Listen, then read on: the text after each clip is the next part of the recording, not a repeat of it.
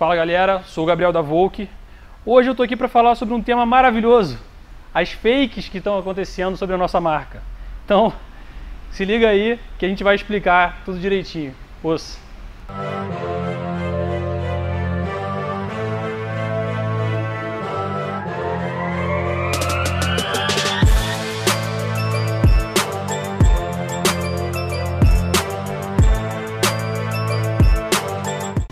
Bom, galera, primeiro fake que a gente não, que a gente está sendo direto perguntado. Estão perguntando se a gente foi comprado por outra marca. E cada hora uma marca é diferente. Então, não, nós não fomos comprados, nós continuamos no mesmo lugar, produzindo na mesma fábrica que é nossa, vendendo no nosso site, testando os nossos kimonos.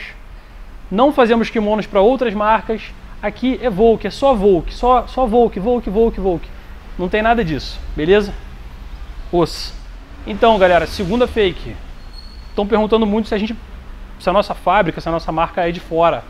Não, nós somos brasileiros, ficamos na cidade de Petrópolis, no Rio de Janeiro, beleza? Então não, a gente vende para fora, a gente exporta muito e a gente tem representantes fora do Brasil. Mas tudo é produzido aqui, em Petrópolis, na nossa fábrica.